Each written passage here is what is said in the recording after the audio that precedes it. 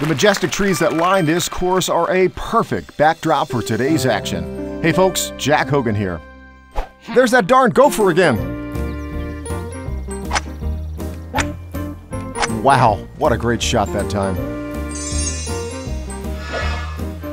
They've picked up a three iron, Gary. Looks that way. The last time I played this hole, I was three over. One over a house, one over the clubhouse, one over the parking lot.